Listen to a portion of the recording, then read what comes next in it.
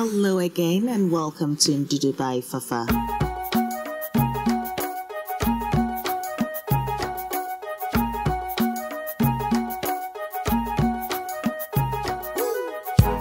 Hello, Ndudu natives. Thank you again for tuning in for another exciting episode with Fafa. Welcome to my creative kitchen. Yes, so today we're tackling Kontomire stew, yes, but not as you know it. Naturally, I will leave the list of ingredients and measurements on my blog, fafagilbert.com, where you will find more creative recipes. Whilst you're there, please don't forget to subscribe. Now, let me go through the list of ingredients. So, I will be using my smoked mackerel, my grilled salmon, yes, and I've also got my banana shallots. You can use any onions that you do have available. Don't restrict yourself, absolutely not. And then we've got the egusi, which is the egusi powder. What I'm going to do is just add a bit of water and allow it to soak. So I'm just going to mix everything together until it's well combined as I go through the remaining ingredients. Next, I do have my baby plum tomatoes, one habanero chili, and some fresh ginger. And then I've got my homemade, yes, zomi, which is the spiced palm oil. You can use any oil that you have available. Now here I've got my shea butter stock cube, yes, which is an all natural created by moi and this is going to be available soon on buy in Dudu. Yes, because it's all about our natural flavors and going back to the way our ancestors used to enjoy their dish. And of course, I'll be adding some tuna, yes, and that's just going to make it all fishy and absolutely beautiful. Now let's start. So on that medium to low heat, I'm adding my zomi, which is the spiced palm oil, together with my shea butter stock cube and banana shallots. And I'm just going to allow this to fry gently for about three to four minutes. And then I'm adding some chili flake. This is looking good so far and the smell is so aromatic. At this point, I'm adding my smoked mackerel. Yes, it's going to add that smoky flavor as well to the dish. And I'm just going to mix this together and um, that should take about six to seven minutes. The next thing is I'm adding my marinated dry anchovies, which we call abobi or Keta schoolboys. Yes. And so when I say this is a fishy affair, it's an absolute fishy affair. Now, yet again, the Abobi infusion is going to be available as well on Buy in Dudu. So if you haven't subscribed yet, please do so. And yeah, Next thing is um adding my blended tomato, ginger, and my habanero chili. Exactly. And I've blended that together and I've added to this mixture. And I'm just going to fry all of this together for another eight minutes. Yet again on that medium to low heat. Now you've seen the bay leaf there and the bay leaf was infused into my dry anchovies or may I say abobi infusion. Next thing is I'm adding my tuna flakes, yes, and that's just beautiful. This is a high protein dish, absolutely. And you know, at this stage, you know, you can enjoy this on its own. You don't even need anything else. You can even see the grains of selim there. That was definitely infused into one of the spices that I've added to this mixture. So yes, at this point, um, it's looking good. And I'm just going to allow the tomato mixture to just cook for another five minutes. I've tasted it and it needed a little bit of salt to taste. Yes, and so I've done that. And I think this is almost ready, yes, for my next step. Now, if this is your first time, you're welcome. Thank you very much for tuning in.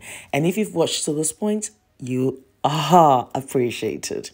And here I've got my green chilies, which are on the milder side. Yes. So once you eating everything else, you can bite into it and it gives you that little mild kick. Yeah. So we're not making it overly spicy because it's already got habanero chili. So at this point, I'm now adding my sort of soaked egusi, or may I say melon seeds, yes. And I'm just going to allow this to steam beautifully and infuse into the flavors. So you notice that I'm gently stirring this. It's not a rigorous thing. Yes, I'm just making sure that the infusion is taking place. And now what I am going to do is cover the saucepan with its lid so I can trap in that steam. And that is going to cook beautifully and gently for eight minutes. Yes. So after eight minutes, this is what it looks like. And at this point, I'm adding my salmon. So it was a leftover for my salmon recipe. I don't think I've put it up yet. So that might be the next recipe that I do put up or upload, may I say. What do you mean by put up? But anyway, you get the drift, don't you? And so, yes, I'm going to be covering the salmon with that infusion of flavors, you see. And look at this. It's just bubbling beautifully. You could even just tell that the stew is going to be nice because we're cooking it at a beautiful temperature, at that medium to low temperature, so we can regulate it. And here I've got my Kontomire, which I have steamed and I did freeze it and I'm taking out of the freezer. Allowed it to defrost. It didn't defrost entirely, but it defrosted a lot more for me to use. Yes. And yet again, I think if I've not uploaded it yet, it will be uploaded where I go into detail about the cocoyam leaves known as Kontomire. Yes. In the absence of it, you can use your spinach. So now let me check on the stew because it looks perfect. Exactly. That has got that beautiful scrambled egg consistency. Now, I do not want to break the salmon into pieces because, of course, the tuna is in little pieces and the mackerel, yeah, is there still, but it just gives it that texture, just something to bite onto, you know, whilst enjoying this dish. So you notice that I'm carefully mixing everything together until it's combined. And yes, I can now add my Kontomire. So this is coming almost to the end of the recipe. Now, in recent times, a few people keep asking, why do I wear the black gloves? Okay, so during the lockdown, I needed gloves, and gloves became very scarce. So I bought a box, a whole box of the disposable gloves because, yes, I just needed to make sure that, you know, practice very good hygiene um, systems, especially when cooking as well and um, I ended up with a black color. And anyway, I love it. It's black like me anyway, so why not? Um, I mean, I've had comments where people are either saying, "Oh, it's you know, it's almost like I'm watching like a scary movie." Please. It's only a color of a glove, which is black. And I'm sure if I had maybe a cream one or white one or anything, it wouldn't even not be an issue. But I don't know why it's becoming a little bit of an issue because I I keep being asked that. It's a color, yes, and I like it anyway. It gives you that seriousness, really, doesn't it? anyway, moving on. This continue cooking. Now. So yes, I'm just warming everything through. And guess what? I served it with some boiled yam, as you do. I mean, then again, I really would love to enjoy this with rice because that's something I've not had for ages. Yeah, what would you pair this with? Boiled plantain or can you imagine those fresh cocoyam itself that you boil it in its skin? Oh yes, that would go with this. Or the apim. Oh gosh, there's a lot that can be served with this. Uh, Dubai for yala. Ah, me do namla.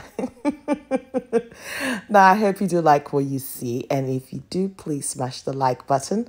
Please don't forget to share with your family and friends. Invite them over. Yes, and do leave your comments below. Tell me what you think about the recipe.